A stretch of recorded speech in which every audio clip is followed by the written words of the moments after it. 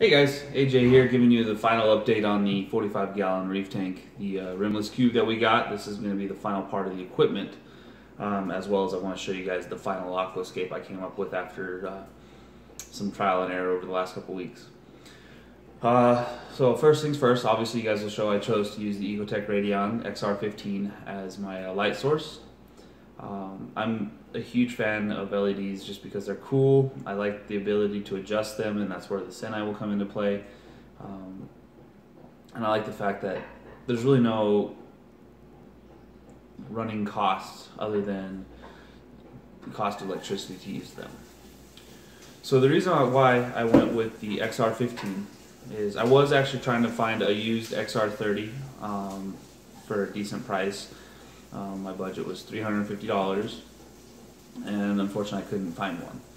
Um, I was considering going with the Gen 4, however I really didn't feel like spending $400 on a light, so I did locate a Gen 3 Pro on eBay. I got it for just under $300 after shipping.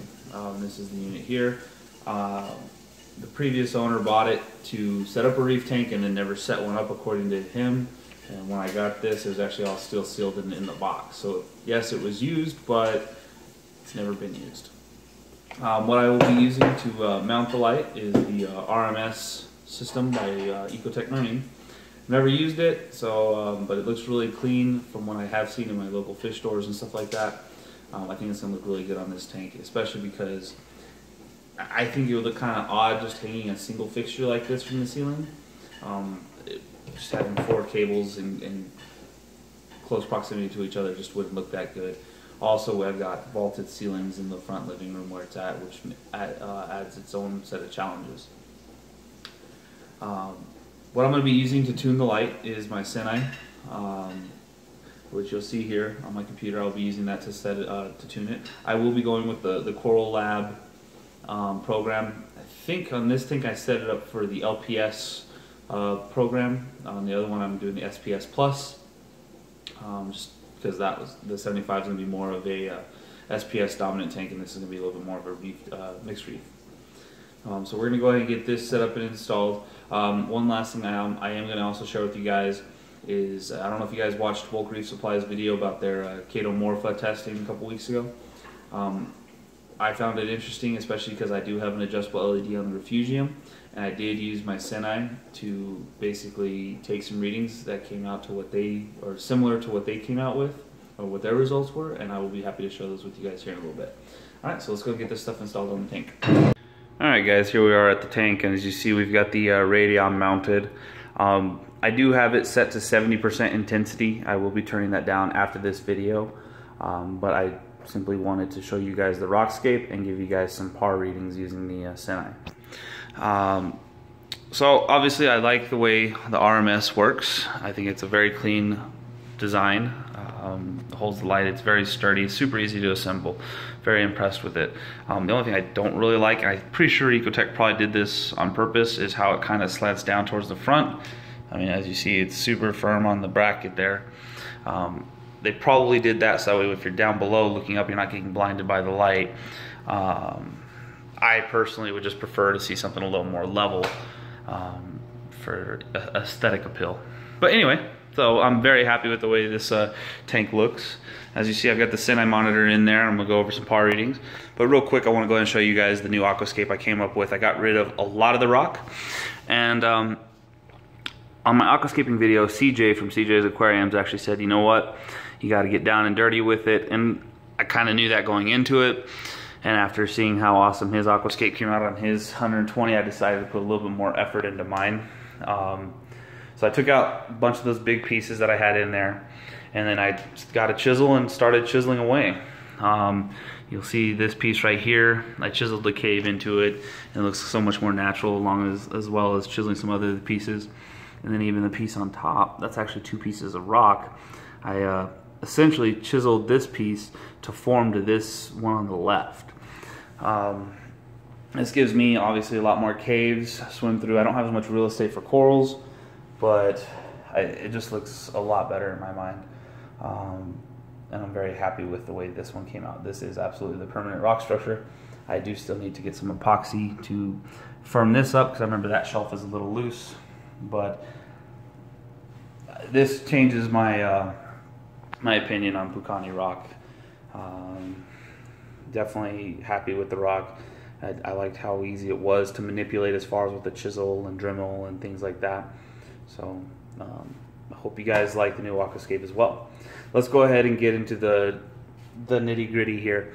Um, we'll be using the Seneye. Let me get my computer. We're just gonna go ahead and. All right, guys, I got the computer. Went ahead and just set it up on the tank. Sorry, I had to couldn't juggle two things with one hand. Um, so got the Seneye in there. Let's go and take some readings. Um, and then I'll go over what's what the readings are with my refugium. So we'll just go ahead and do right here first on the top top rock where there'll be some SPS. Go and set it right underneath the radion there. And you'll see at 70% I'm getting about 295, 288, 270 par. And then uh, of that usable spectrum, or sorry, that usable par, I'm getting uh, 78%. So definitely some good readings there up top, which will be able to grow some SPS. We'll go down to the second shelf here, which is also a little bit further back, but and lower in the tank. And I'm getting 184 to 176, 180, 175. So that'll be good for you know some like Monty pores I could probably put up in there, um, especially again look at the 78% PUR. Um, and so I'm moving it a little bit, so that's why the readings jumped way low there. Um, I could probably get some Monty's, definitely some LPS in there. Let's go ahead and go down here towards like this real shadowed area where I plan on putting actually some Monty caps and having them played out. Um, so, what's that? 60. Oh, 16%. Uh, it's jumping around depending on how I hold the Seneye. So actually that's probably to be a little low. I'll probably have to put some softies there instead of some Monties like I was thinking or turn up the Radion. Um, and then as you see, it jumped up to like 130. So um, I'll keep an eye an eye on that section to see what works best there. And then right here in the front rock where I plan on putting my Zoas. Let's see.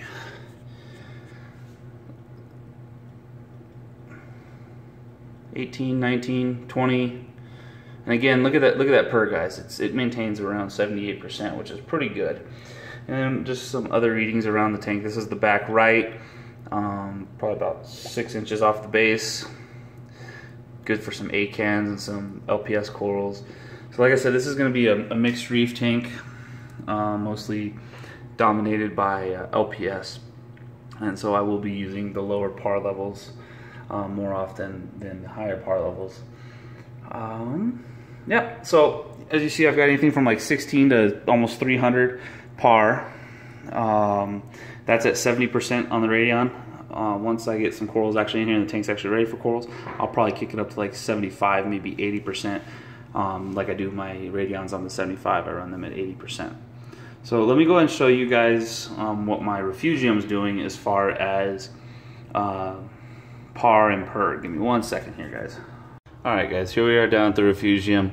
Um, I don't know if any of you guys have watched Bulk Reef Supply's video on testing Chaeto, um, but basically they learned that uh, the best thing for photosynthesis is having high red and blue ends of the spectrum, um, which kind of gives you that purple hue. And the light they had the best results with was the Kessil H360 horticulture light, um, which had unbelievable amounts of par and PUR and was getting similar high blue and red uh, light uh, sources of light.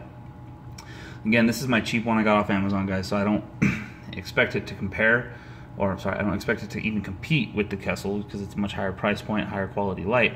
But I did want to, I was kind of curious to see if this would be an affordable option. So you will see this is the uh, the Nicrew LED on the purple setting, full intensity. You'll see I do have high red and high blue uh, ends of the spectrum.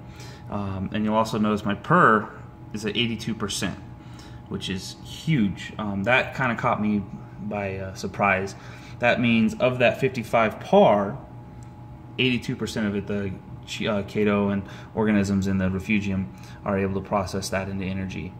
Um, so I, I, I, am excited to see how this light performs as far as uh, assisting my uh, nutrient, uh, as far as assisting my filtration system.